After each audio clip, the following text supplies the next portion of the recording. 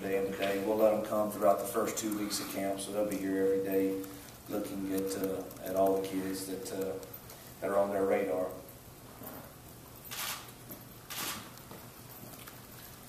You with the NCAA now holding head coaches accountable for their staffs in terms of rules violations, are you worried about any possible suspension or any other personal penalty for yourself from all this? I'm worried about our football team.